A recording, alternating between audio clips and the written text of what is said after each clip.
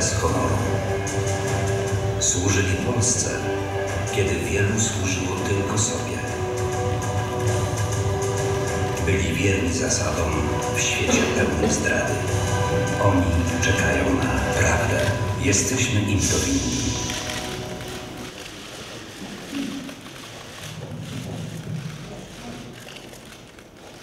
Szanowni Państwo, ale przede wszystkim Wy, najbliżsi, rodziny tych, którzy polegli 10 kwietnia 2010 roku pod Smoleńskiem. Parlamentarzyści, panowie ministrowie, panowie oficerowie, wszyscy zebrani. Mija blisko 6 lat od momentu, który nazwano największą tragedią po II wojnie światowej w dziejach niepodległego państwa polskiego.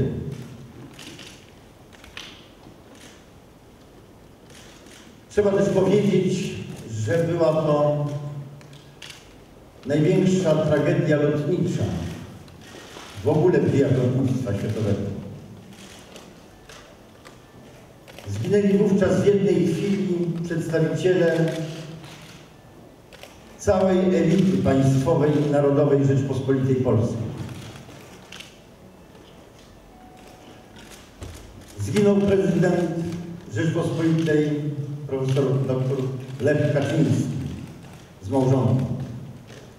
Zginął ostatni prezydent Rzeczpospolitej na uchodźstwie.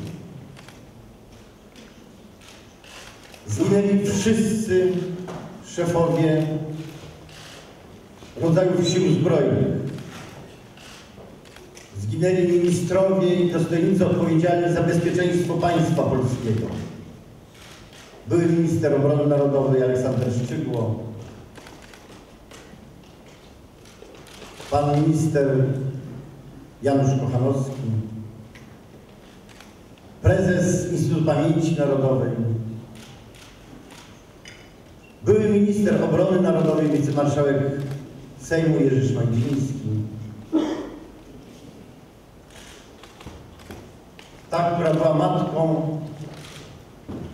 Solidarności, największego ruchu społecznego w dziejach świata, z którego wciąż czerpiemy siły, doświadczenie, przykład. Anna Walentynowicz.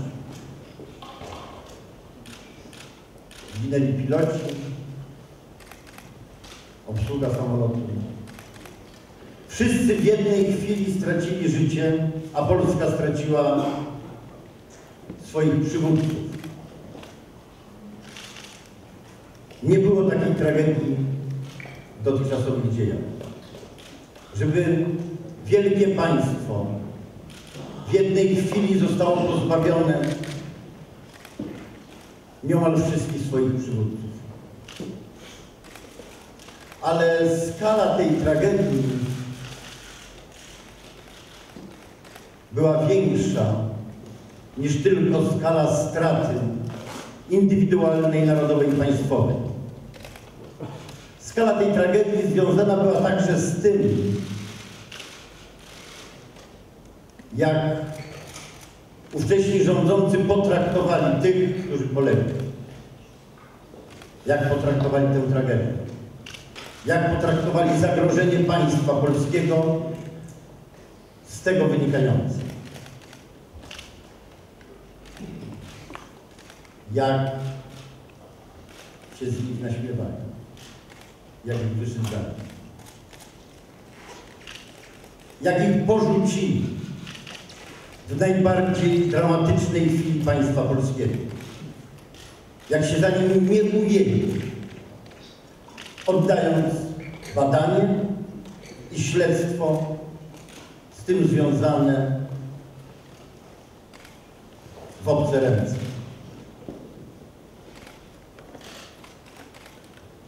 Skalę tych działań, zaniechań nie sposób nazwać inaczej jak przez odwołanie się do tych dramatów, jakie odbywały się w Polsce po II wojnie światowej. To wtedy naśmiewano się z bohaterów narodowych. To wtedy, żeby ich upokorzyć, wsadzano ich do więzienia razem z hitlerowskimi katami. To wtedy poniewierano honorem i czcią Rzeczpospolitej, poddając naród i państwo obcą niewolę.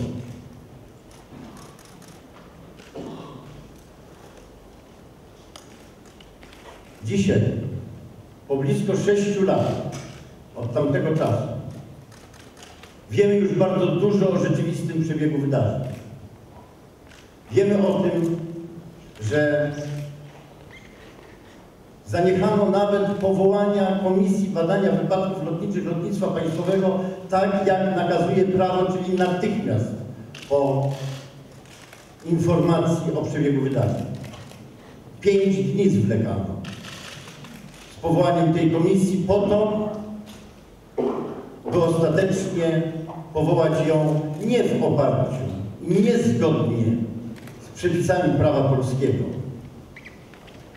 lecz pod obcy dyktantem, przyjmując narzucone warunki.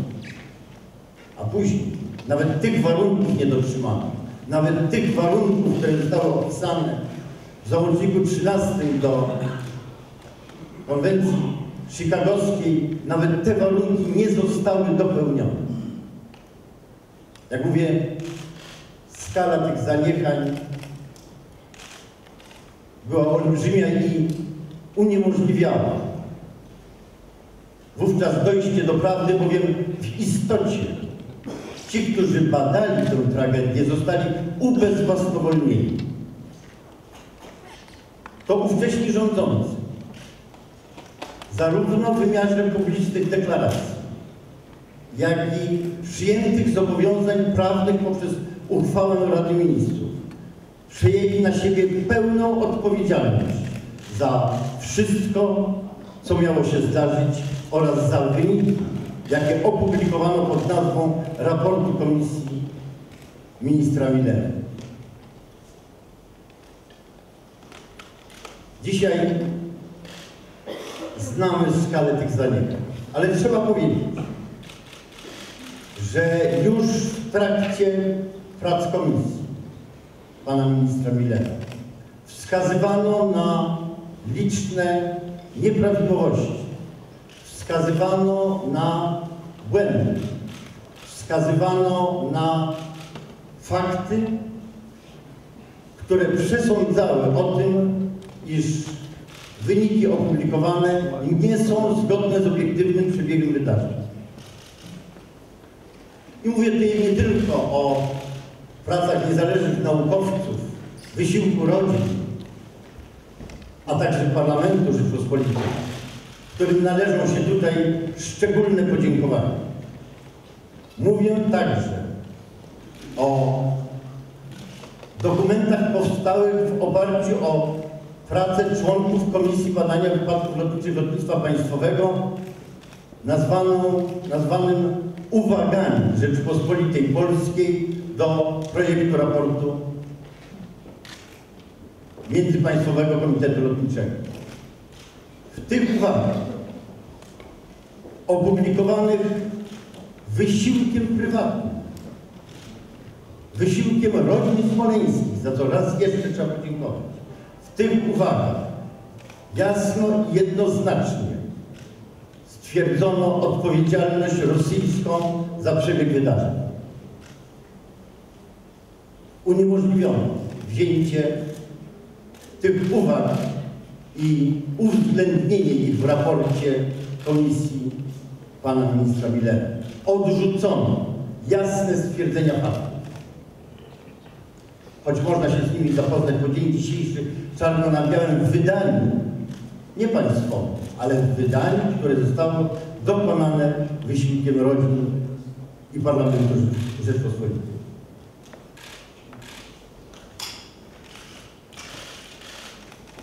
Dlatego dzisiaj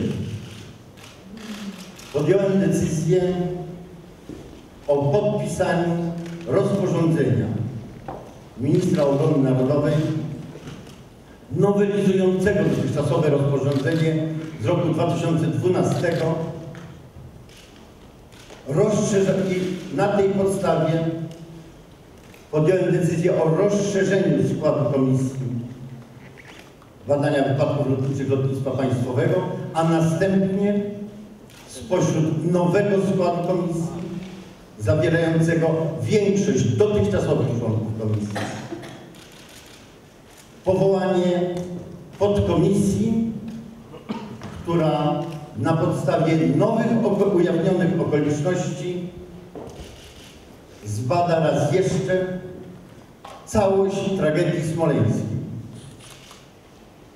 Począwszy od tych wydarzeń, które badane dotychczas w ogóle nie były, związanych z remontem samolotu, skończywszy na badaniu przebiegu działań, które miały na celu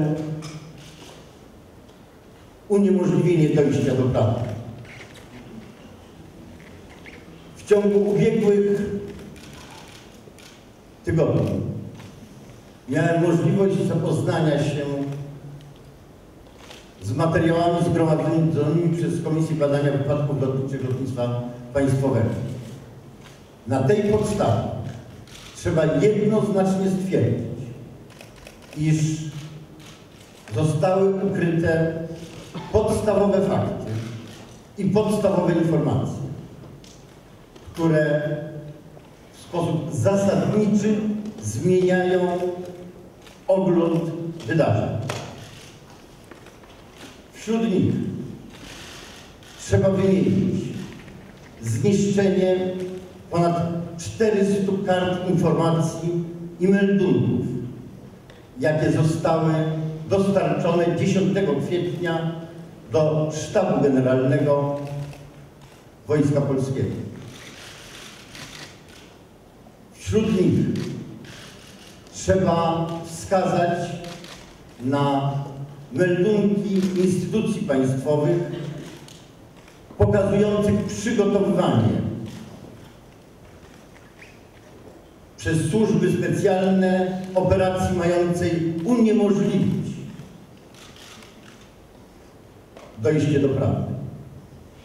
Wśród nich trzeba przede wszystkim wskazać na odnalezienie posiadanego przez cały czas przez urzędników Komisji Badania Wypadków Lotniczych Lotnictwa Państwowego pełnego, ciągłego, nieprzerwanego od startu do ostatniego momentu istnienia w formie integralnej samolotu zapisu przebiegu tego tragicznego lotu w zakresie działania przyrządów i parametrów lotu. Powtarzam jeszcze raz. Komisja Badania Wypadków Lotniczych Lotnictwa Państwowego przez cały czas dysponowała pełnym, ciągłym zapisem przebiegu wydarzeń w zakresie działania przyrządów samolotu. Od startu do rozpadu samolotu w powietrzu mniej więcej 15-18 metrów nad ziemią. Nie ma wątpliwości, że te okoliczności są nie tylko wystarczającym, ale nakazującym powodem, by raz jeszcze tę tragedię zbadać. Dlatego właśnie podjąłem decyzję o nowym rozporządzeniu, dlatego podjąłem decyzję o rozszerzeniu komisji i dlatego podjąłem decyzję o powołaniu podkomisji. Na czele tej podkomisji zgodził się stanąć pan dr Wacław Berczyński, człowiek, który badał dziesiątki katastrof lotnictwa wojskowego w Stanach Zjednoczonych. Konstruktor, znany i konstruktor samolotów. Człowiek, którego wiedza i doświadczenie było zawsze doceniane w Stanach Zjednoczonych i w innych krajach Sojuszu NATO. Jego pierwszym zastępcą będzie pan dr Bogdan Gajewski, znany badacz katastrof lotniczych oraz pan dr Kazimierz Nowaczek. Mam też zaszczyt prosić pana profesora Jana Obremskiego o to, by sekretarzował temu zespołowi. Pan profesor ukrył się tam za kotarą, ale jest obecny i raz jeszcze dziękuję panie profesorze za zgodę na kontynuowanie tej pracy, którą z takim poświęceniem, mimo wielu brutalnych ataków na pana, pan dotychczas realizował. Skład Komisji Badania Banków Lotniczych Lotnictwa Państwowego jest rozszerzony o 18 osób. Co oznacza, powtarzam raz jeszcze, że dotychczasowy jej skład powołany jeszcze przez ministra Klika, nowelizowany przez kolejnych ministrów ma większość. Raport podkomisji zostanie przedstawiony Komisji Badania Wypadków Lotniczych Lotnictwa Państwowego oraz ministrowi obrony narodowej. Jestem głęboko przekonany, że ta decyzja i praca, jaką podkomisja będzie realizowała oraz stanowisko ostateczne Komisji Badania Wypadków Lotniczych Lotnictwa Państwowego pozwoli nam dowiedzieć się nie tylko co się zdarzyło, ale także kto za to jest odpowiedzialny. Pozwoli także przywrócić honor i godność państwu polskiemu, które opuściło w najtrudniejszym momencie swoich przywódców. Dotyczy to niestety wielu instytucji państwa polskiego. Dotyczy to także części mediów. Dotyczy to także części środowisk politycznych. Jestem, powtarzam jeszcze raz, głęboko przekonany, że bez względu na to, jakie będą wyniki, a żadna teza nie jest z góry przyjęta poza faktami, które są znane, że wyniki badania Komisji Badania Wypadków Lotniczych Lotnictwa Państwowego pozwolą nas zbliżyć do prawdy, dostarczyć materiał prokuraturze wojskowej i sprawiedliwie osądzić odpowiedzialnych za tę straszliwą tragedię. Dziękuję bardzo.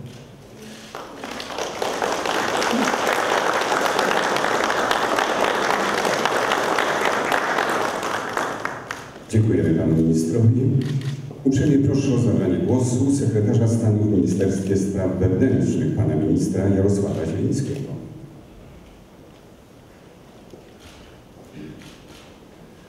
Szanowny Panie Ministrze, Szanowni członkowie rodzin ofiar katastrofy smoleńskiej, Szanowni Państwo Senatorowie, Szanowni Państwo Posłowie, Szanowni Państwo Ministrowie, Generałowie, Szanowni Państwo wszyscy tutaj zgromadzeni. Kto mówi prawdę, w prawdzie ma obronę. To zdanie Sofoklesa przyjmujemy jako swój drogowskaz. Musimy tak postępować, żeby dotrzeć do pełnej prawdy o tej wielkiej katastrofie, która zdarzyła się 10 kwietnia 2010 roku. Kto mówi prawdę, wprawdzie ma obronę, to oznacza, że kto nie mówi prawdy, kto mówi nieprawdę, kto kłamie, nie ma tak naprawdę nic na swoją obronę. Kłamstwo nikogo nie obroni. Minęło, czy mija, długich sześć lat od katastrofy. Pamiętamy te opowieści bolesne, krzywdzące, trudne do przyjęcia, niewiarygodne o brzozie, o winie pilotów, o winie pana generała, pana prezydenta. Te obciążenia, które kierowano w stronę zbolałych rodzin ofiar katastrofy, a z wielkim bólem sprzeciwem przyjmowaliśmy to my wszyscy. Mimo upływu lat i mimo to, że sporo już rzeczywiście wiemy, wiemy dzięki różnym działaniom, także w znacznej mierze mi- dzięki działaniu Parlamentarnego Zespołu do spraw wyjaśnienia przyczyn katastrofy smoleńskiej, którym kierował pan minister Andrzej Macierewicz. Miałem zaszczyt być prezydium tego zespołu. Pytań jest wciąż bardzo wiele. Na te pytania trzeba znaleźć odpowiedź. Jest za nami, za mną, przed Państwem ten napis. Oni czekają na prawdę i my jesteśmy im ją winni. Oni, czyli członkowie rodzin, rodziny, ale cały naród czeka na tę prawdę i my narodowi jesteśmy tę prawdę winni. Dlatego z wielkim uznaniem szacunkiem przyjmujemy decyzję pana ministra Andrzeja Macierewicza o zmianie rozporządzenia. Tu minister spraw wewnętrznych i administracji jest organem, który działa w uzgodnieniu, w porozumieniu. Decyzja, która rozszerzy skład Komisji Państwowej i pozwoli na powołanie podkomisji, która, takie wiążemy z nią nadzieję, odpowie na te pytania, na które dotąd odpowiedzi jeszcze nie mamy, a głównie na pytanie, czy uczyniono wszystko, żeby do katastrofy nie doszło i czy zrobiono wszystko, żeby ją wyjaśnić. My oczywiście wiemy, że nie zrobiono wszystkiego ani w jednym, ani w drugim. Wręcz przeciwnie, wielu działań nie podjęto, które podjąć należało.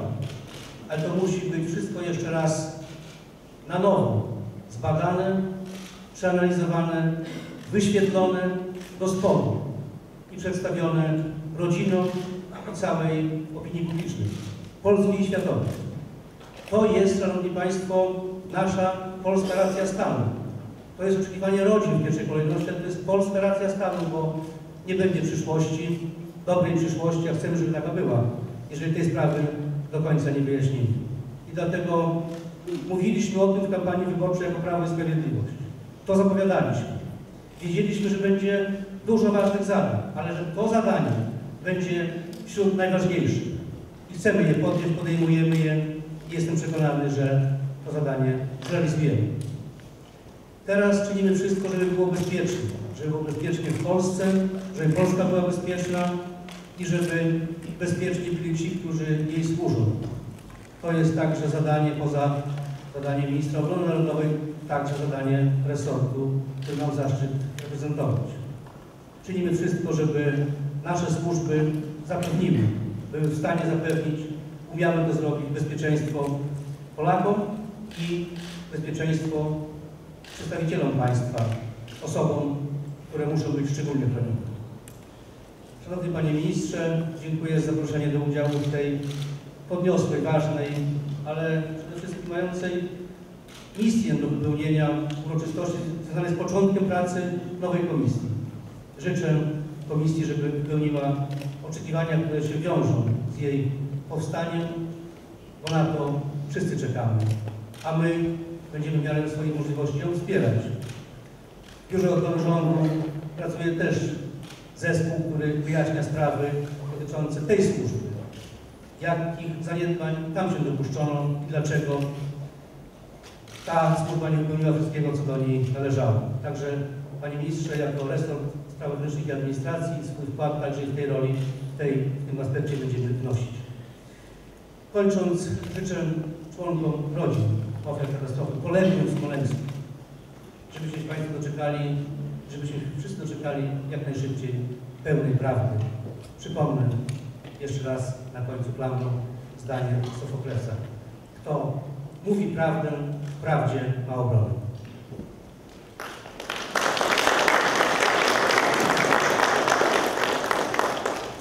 Szanowni Państwo, przed nami uroczysty moment podpisania rozporządzenia w sprawie organizacji oraz działania Komisji Badania Wypadków Lotniczych Lotnictwa Państwowego. Zapraszam pana ministra obrony narodowej Macierewicza. Bardzo proszę o podpisanie dokumentu.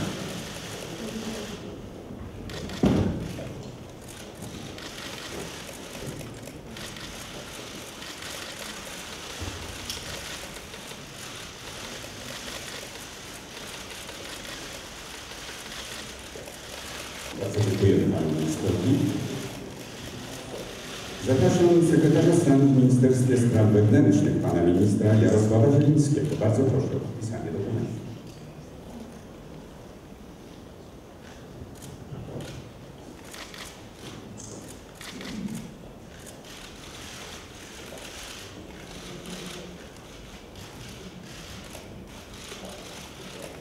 Szanowni Państwo, uprzejmie proszę o zabranie głosu przedstawicielkę rodzin smoleńskich, panią Ewę Łasik.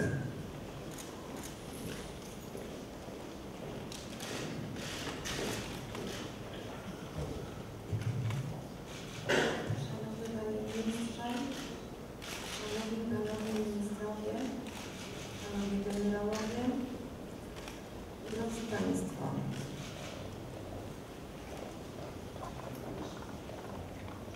Niebawem minie 6 lat od tragicznego dnia 10 kwietnia 2010 roku. Dnia, w którym wydarzyło się coś, co nie miało prawa nigdy się wydarzyć. W tej największej tragedii od czasów II wojny światowej ogromne straty poniósł naród, Kościół, parlament, siły zbrojne, rodzina katyńska i wiele innych środowisk. Choć minęło już tak dużo czasu, wciąż nie wiemy, dlaczego wszyscy zginęli i co było przyczyną śmierci naszych najbliższych. Polskie władze nie chciały tego wyjaśnić. Zamiast rzetelnego badania przyczyn katastrofy powtarzano napisane w Moskwie kłamstwa. Zrezygnowano z przeprowadzenia fundamentalnych badań, a raport rządowej komisji pełen był nieścisłości, przekłamań i niczym nie popartych hipotez. Nas, rodziny ofiar, traktowano w sposób haniebny. Wyszydzano, gdy domagaliśmy się tego, co nam się należy, zwyczajnej prawdy. Ośmieszano, gdy przypominaliśmy urzędnikom o ich obowiązkach, którym się sprzemier- sprzemierzywali. Mój świętej pamięci mąż, generał pilot Andrzej Bułasik, padł ofiarą niewyobrażalnej kampanii oszczerstw i nienawiści. Jego zwierzchnicy i przedstawiciele polskiego rządu, zamiast bronić honoru poległego generała, powielali kłamstwa. Mimo osaczenia z każdej strony udało mi się przeżyć. Trwający latami prawdziwy koszmar.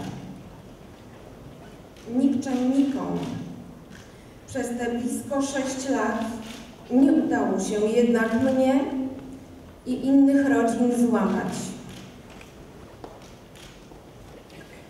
I dziś właśnie nastał dla nas dzień wielkiej nadziei. Jest nim powołanie przez pana ministra obrony narodowej nowej komisji do zbadania przyczyn tragedii smoleńskiej. Wierzę, że dzięki niej państwo polskie wreszcie wypełni swoją powinność. Bardzo dziękuję w imieniu rodzin smoleńskich panu ministrowi Antoniemu Macierewiczowi za dotychczasowy ogromny trud i wznowienie prac komisji. Dziękuję jej członkom i współpracownikom za ciężką pracę, którą już wykonali, często okupioną niesłychaną nagonką i represjami. Wierzę, że na nowo powołani eksperci przy pełnym wsparciu rządu wszystkich instytucji już jako urzędnicy państwowi zaczną bezinteresowne i rzetelne wyjaśnianie przyczyn naszego narodowego dramatu. Jeśli chcemy być państwem suwerennym, jeśli podtrzymujemy wartości, które nasz naród przez wieki kształtowały Jeśli chcemy zajmować należne nam miejsce w społeczności międzynarodowej, musimy ukazać całą prawdę o tragicznej kwietniowej sobocie z 2010 roku.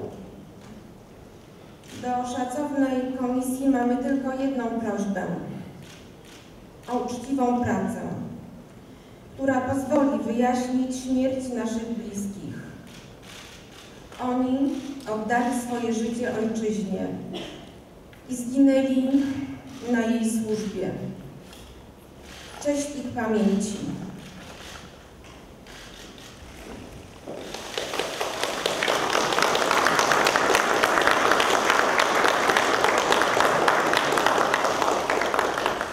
Proszę o zabranie głosu przewodniczącego Komisji Badania Wypadków Lotniczych Lotnictwa Państwowego, pana Wacława Berczyńskiego.